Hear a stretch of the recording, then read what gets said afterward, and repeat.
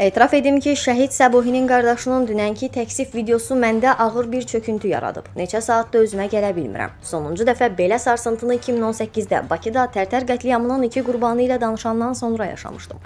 Eşitdiklərimə inana bilmirdim. Bu sözləri təhlükəsizlik məsələləri üzrə ekspert Ərəstun Oruclu şəhid qardaşının ondan komanda kursu üçün 6000 manat rüşvət istənilməsi ilə bağlı daha əvvəl səsləndirdiyi iddiaları təkzib etməsinə münasibət bildirərkən deyib. Oruclu kimlərin isə şəhid qardaşını təksib videosu çəkməyə məcbur etdiyini vurğulayıb. İndi də gördüklərimə inana bilmirəm. 2 gün əvvəl şəhid qardaşının xidmətə necə qəbul edildiyini deyən, onsuz da qəlbi qırıq gənc tək ümidi olan qardaşını itirdikdən sonra ikinci dəfə sındırıldı. Kimsə həmin dəhşətli mənzərəni bizi xalq olaraq alçaltmaq, kimsə təhqir etmək, kimsə də mənəvi psixoloji məhv etmək sayır. Hamısı ilə razılaşmaq olar, amma məni dərindən düşündürən baş verən hadisənin ayrı bir aspektidir. Anladığım bu oldu ki, heç bir mənəvi çərçivəsi, məhdudiyyət anlayışı olmayan məxluqlarla üz-üzəyik və bu təkcə alçaldılmaq, təhqir olunmaq imkanı deyil. Bu fəlakətli bir təhlükə ilə üz-üzə qalmaqdır. Bəli, məhz təhlükə ilə.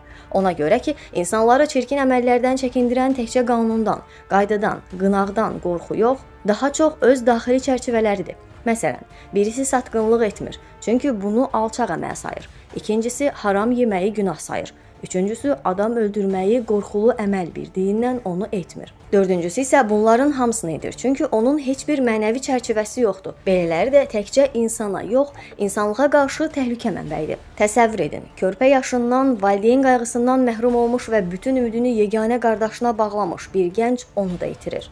Bu artıq fəlakətdir. Yaranmış ağır durumda açıb həqiqəti deyir. Həqiqət isə budur ki, həyatdakı yeganə güvən yeri olan qardaşı bir qədər artıq maaş almaq üçün borca girib rüşvət verərək xidmətə gedir və şəhid olur. Bu da azmış kimi şəhid qardaşının qanı qurumamış, onu belə bir təksib videosu yaymağa sövq edirlər. Sövq vadar və ya məcbur edirlər. Bunun heç bir fərqi yoxdur. Son nəticədə ona bunu etdirirlər.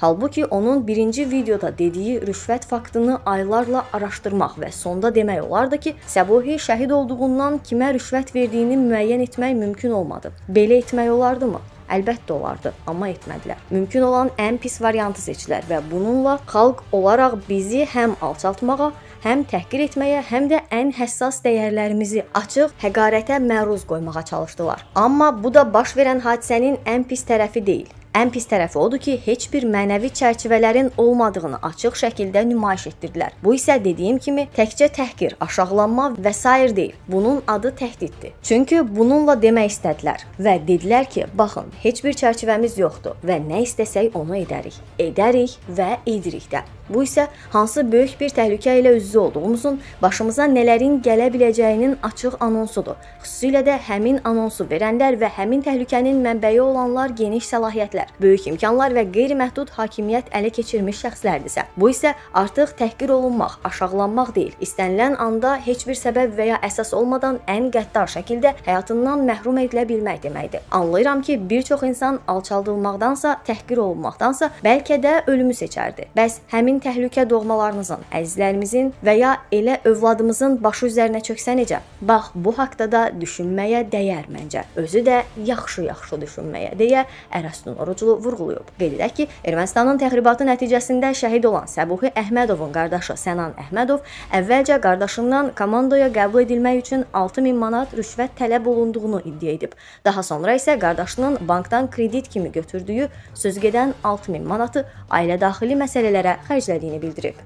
Mən Əhmədov Sanan Fadoğlu, Gizir Əhmədov Saboy Fadoğlunun böyük qardaşıyam. Sosial şəbəkələrdə yayılmış bu vəzifə dəyişikliyinə görə verdiyi 6000 manat məsələsinə toxunmaq istəyərdim. Onu araşdırdım, aydınlaşdırdım ki, yəni onun vəzifə dəyişikliyinə heç bir adiyyəti yox idi. Ailə daxili məsələlərə görə gedibdi.